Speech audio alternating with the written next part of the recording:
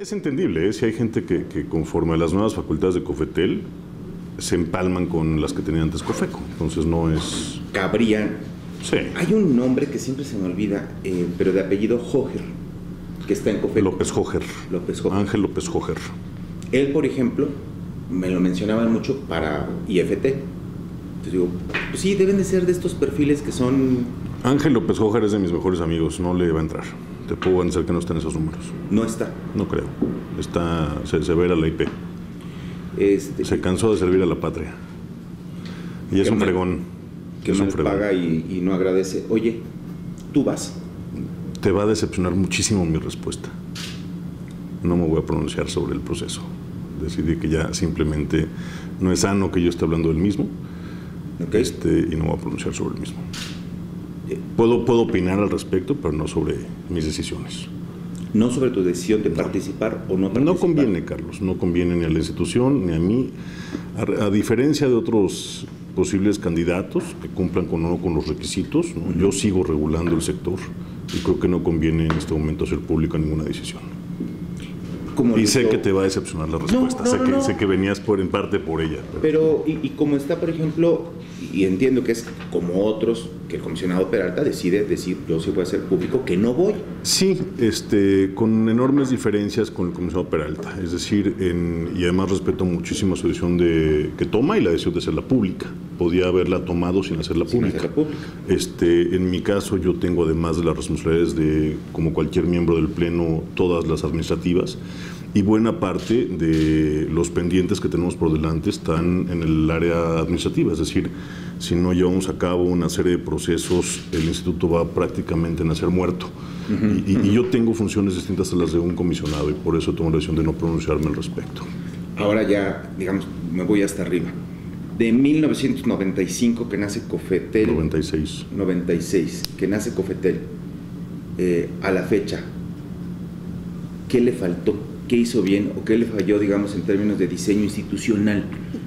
Estas, estas expresiones de Te dije que tengo 45 minutos. no tuvo dientes, sí.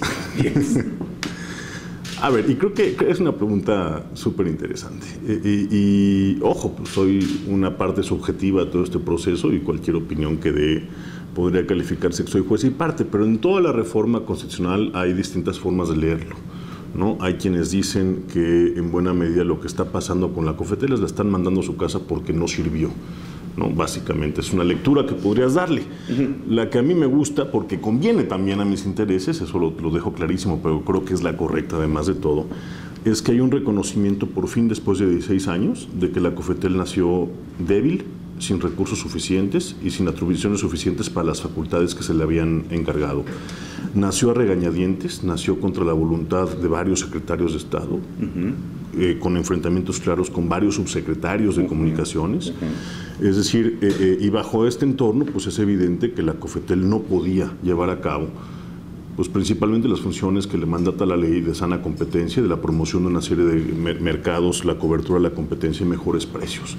Eh, el tema de calidad es un tema, si quieres, muy sintomático, pero no es el más importante. Cómo tú estableces un regulador que no tiene entre sus funciones sancionar a quien no cumple con la calidad de los servicios. Es absurdo.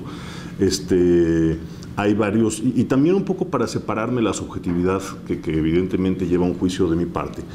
Eh, pues te puedo citar varios documentos. Hay un documento de la UIT hecho hace tres años en donde te dice claramente la Unión Nacional de Telecomunicaciones tienes un déficit de 300 millones de pesos anuales en supervisión y verificación. Nunca se subsanó ese déficit.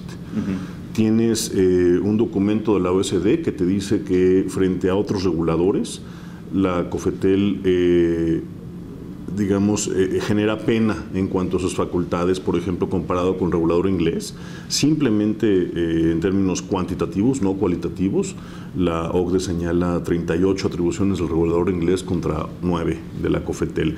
Es decir, eh, te narro todo esto porque creo que hacer un juicio de las personas que me han precedido, de los distintos miembros del Pleno, sería injusto si no se toman en cuenta todas estas consideraciones. Digamos, una debilidad estructural. De, de- de origen. De origen. De origen. Es No decir, la los primeros comisión. meses de vida y nació te doy un ejemplo. La, la comisión, eh, cuando yo llegué a la comisión, no hemos hecho más que perder personal. ¿Por qué? Eh, porque desde un, desde un inicio eh, el personal que se traslada a la Secretaría es el personal sindicalizado y que tiene mayor antigüedad. Que por un lado le otorga y le ha otorgado a la Comisión una experiencia, magnífica, pero por otro se están jubilando todos. Entonces, eh, eh, con, eso, con esos elementos hemos trabajado, no solo yo, los presidentes que me han antecedido y los, los miembros del Pleno. Ahora, no es disculpa. Este, hay también una serie de temas que podríamos abordar en la entrevista en donde me parece que pues yo no alcanzo a entender por qué no se avanzaron antes.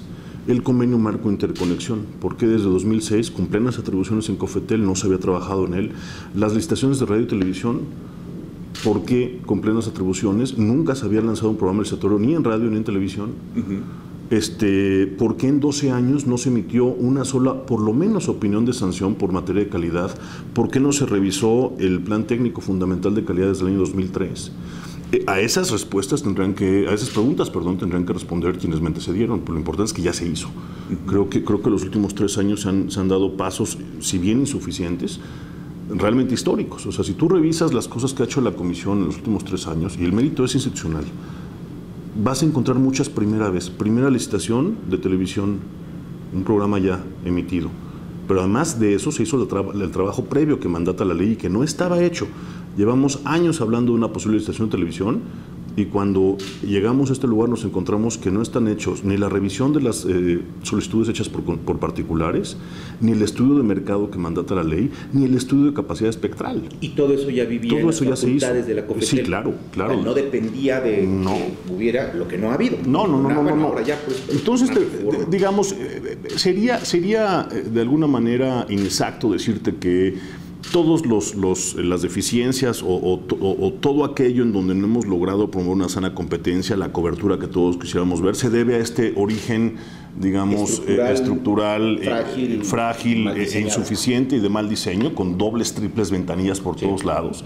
Eh, sería inexacto decirte que eso es de todo, ¿no?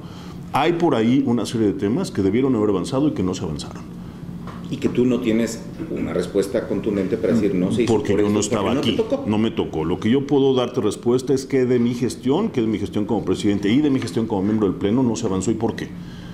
Que también hay temas que me frustra no haber tenido listos este muy reciente, el de la larga distancia, que fue del... Ese, tema, Carlos... ¿Miércoles? Bueno, fue del miércoles pasado para envío a publicación en diario oficial, pendiente desde el 98. Y ahora quieren algunos venderlo como que estamos lastimando al consumidor dando 24 meses. Pues alguien que le exija cuentas a quienes dejaron pasar 16 años antes de volver a revisar el tema. 15, para ser exactos. Entonces, hay siempre dos formas de leer el sector, ¿no? Ah, pues le dieron, dieron 24 meses para la conciliación de 200 áreas de servicio local. Dicho sea de paso, consecuente siempre con los tiempos y términos que se han dado en decisiones previas. La de 98 también incluye dos años. Aquí además no solo es la conciliación, todo el país tendrá que trasladarse a una numeración de 10 dígitos.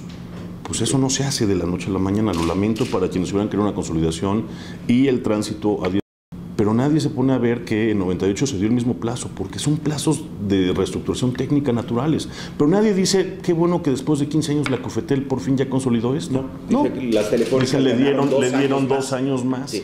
Sí, no se atrevió. Y, pero, ojo, eh, venía con voto de calidad mío, que además es otra cosa, y, creo que siempre lo he tratado de hacer, Carlos, es yo no rehuyo mi responsabilidad en cada uno de mis votos. Aquí estoy dándote la cara y diciéndote por qué en todo caso voté 24 meses. Originalmente, y está en las actas está en la versión estenográfica, fui yo quien lo redujo a 18 meses. El proyecto original que sube al pleno venía con 24 meses. Y fui yo, y está en la versión estenográfica, quien dice, no, vámonos a 18 meses, por favor, porque no me convencen los argumentos. Pasamos entonces por un proceso de mejora regulatoria. ¿Para qué son los procesos de mejora regulatoria? Pues para escuchar a, los, a las partes, para escuchar a los regulados, para escuchar también a quien desarrolla las redes en este país. Y producto de, la información que se recaba, a mí en lo particular me convence que son argumentos suficientes. Ahí sí, ahora sí, entonces sí, para decir vamos a 24 meses. El beneficio al consumidor es impresionante. No es inmediato, como nada en telecomunicaciones es inmediato. Cuando fallamos la licitación 2021, apenas hoy en día estamos viendo realmente los resultados de tener un, operador como Nextel extendiendo una red en todo el país. Apenas hoy estamos viendo las ventajas que tuvo para Telcel subsanar su ausencia de espectro en región 9. Así son los, los, los, proyectos en telecomunicaciones. Mm, Tijuana y el apagón. lastima en términos no solamente de imagen, sino de, de voz, de capacidad y de presencia del órgano regulador, que por un asunto que cuesta trabajo entender desde afuera.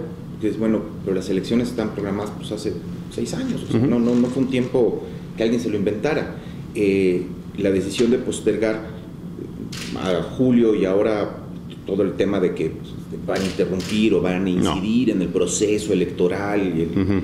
en fin, ¿qué lección te deja? Eh, digo, ya todo pasado, pues. Varias, varias, ya pasó. varias lecciones, Carlos, pero antes de pasar a las lecciones, quisiera hacerte una lectura un poquito más completa del proceso, sí. porque si no partimos de un hecho en donde parecería que a la comisión se, le, se le ocurrió se le ocurrió ahorita poner este, el apagón a medias elecciones, sí. ¿no? Nosotros llevamos solicitando recursos para este proceso desde el año 2010 al Congreso. Lo, lo, solicitamos y en 2011 nos dijeron, no te damos recursos. No solo no te damos recursos, te prohibimos usar recursos porque vienen las elecciones del Estado de México. Y vas a regalar televisores. ¿Te acuerdas que decían eso? ¿Cuáles televisores? Por más que intentamos argumentar, por más que tratamos de explicar, no hubo forma. Volvimos a hacer la solicitud del año 2011 para el presupuesto 2012. La respuesta fue la misma, no, y está prohibido porque viene el proceso electoral federal. Eso fue postergando el, el programa piloto en Tijuana, el programa piloto en el norte del país está puesto en la política publicada desde hace ya tiempo. Entonces, lo que hemos tenido que hacer es, conforme a las respuestas presupuestales que recibimos, es ir acomodando los tiempos, hasta que en efecto, me acuerdo muy bien, y debe, debe constar en, por ahí en algunas entrevistas mías, Angelina luego te lo pasa, en donde digo, a ver si no nos dicen en 2013 que no apaguemos Tijuana por las elecciones de Baja California. Pero a quién le tocaba decirnos, oye, no, no lo hagas, a la autoridad electoral que además en sus, uno, el 16 de mayo, yo personalmente le pido un criterio al Instituto Estatal de Participación Ciudadana de Baja California, en donde le digo, oye, tengo el evento en Tijuana la próxima semana. ¿Hay algún impedimento en materia electoral, porque yo no puedo interpretar las leyes electorales, uh -huh. que me impida llevar a cabo el apagón? No. Por escrito me ponen que no. El propio IFE reconoce que la COFETEL le ha brindado toda la información respecto al proceso, las localidades y los apagones y su impacto. ¿Y por qué no se manifestó antes? Y en el otro criterio que se manifiestan no solo, digo, ni siquiera unos días antes, sino se manifiestan un día después del apagón. Pero déjame echarme un poco para atrás, nada más para acabar. El tema es que la otra, el, el, el aura que, que, está alrededor de eh, Tijuana, ¿no? El fracaso, ¿no? Que lo oyes de legisladores, lo oyes de, pues, evidentemente, partes interesadas, particularmente las televisoras y particularmente su analista independiente Tejado, ¿no? ¿Cuál fracaso? Decía, decían algunos por ahí que había 160 mil afectados. Supongamos que yo soy un mentiroso. Supongamos que a mí me encanta falsificar cédulas de ciudadanos con sus firmas, su nombre, su dirección para y su número del IFE. 93%. Para decir, para exacto. Su, para, llevémonos ese supuesto, ¿no? Este, digamos, el, el, el, el, truán que tenemos presidiendo la comisión, que además se dedica, ¿no? En las noches a falsificar, exacto, el mapache de las telecomunicaciones, además se dedica a falsificar cédulas y firmadas por los ciudadanos. Supongo, vayámonos a ese extremo. ¿Dónde están los 160 mil en la ventanilla que abrimos en Tijuana? Llevamos 10 mil en un mes.